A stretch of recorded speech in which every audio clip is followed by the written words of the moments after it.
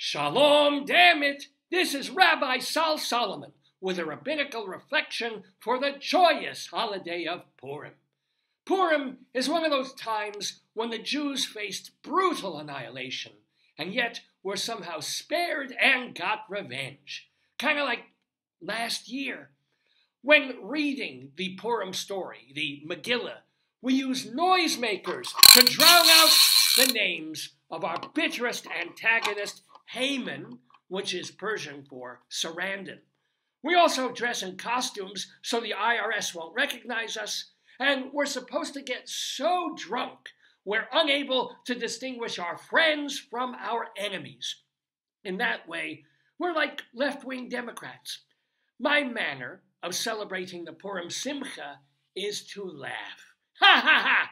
But so I don't seem psychotic, I attach my laughter to jokes. Freud said that comedy is an expression of the subconscious battling to be heard in a society that drowns out anything nonconformist. I think that's what he said. I don't speak German. So let's examine the psyche of a couple of classic Jewish jokes. Yankel has found this girl on J date, and he's meeting in person for the first time. They've got an 8 o'clock reservation to meet at the swankiest kosher restaurant in town. But it's 7.50, and Yankel is circling the block, unable to find a parking space. He drives around again and still no spot. Finally, he prays to God. He says, God, this girl might be my bashert. Please let me find parking. But nothing opens up and Yankel keeps driving. It's now 7.55 and Yankel's beside himself. God, he says, if you find me a parking spot, I'll never miss Friday services again. Still, no spaces, and he circles round the block. Now it's 7.59 and he's frantic. He calls out to Hashem, God, I swear, if you find me a spot, I'll donate $500 to the United Jewish Appeal. Suddenly, right in front of the restaurant. A car pulls out, leaving a space. Yankel says, Never mind, God, I found one. What does this joke tell us about taking the Lord's name in vain? That we do it. That under duress we are apt to say anything, make any promise.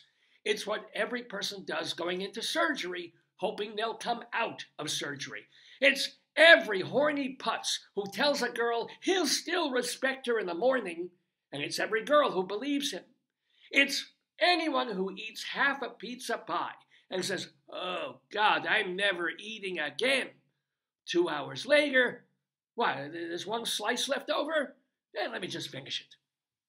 Humans show an uncanny talent for pivoting from need to satiation and right back to need the little stops they make along the way to fulfill those needs, well, they're often forgotten the way a pregnant woman can't recall the pain of labor.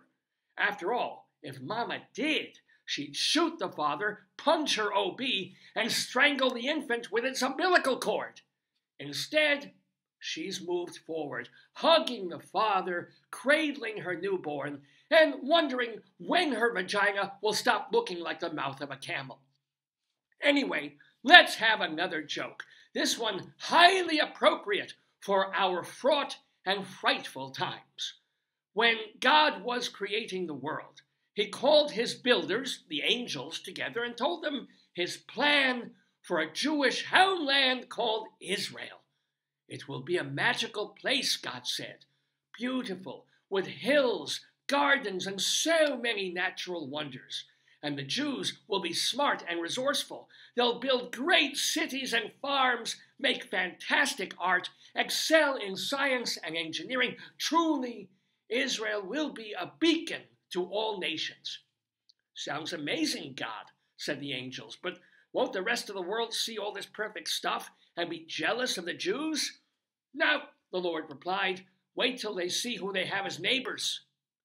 Of course, this joke has an especially jagged edge these days, even though, technically, Israel was attacked not by neighbors, but by its own squatters. Muslims were nice enough to give land to inside the Jewish state rather than forcing them to move to Africa or Arabia or, God forbid, Amityville.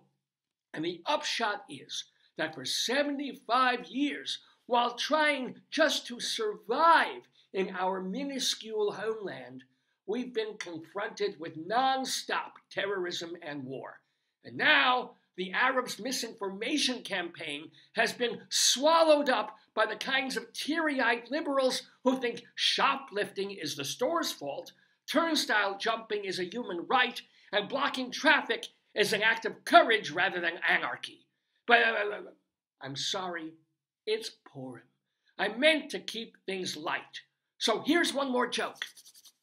It's late night, and a policeman sees a car speeding down the highway.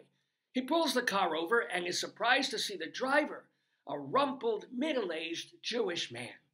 The officer runs his information and says, Mr. Schwartz, we both know you were speeding, but it's 2 a.m. Where were you racing?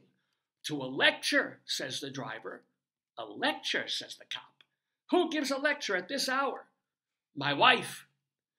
This isn't technically a Jewish joke. It could work for anybody, but the joke tastes Jewish because it teaches us that you always answer for your deeds.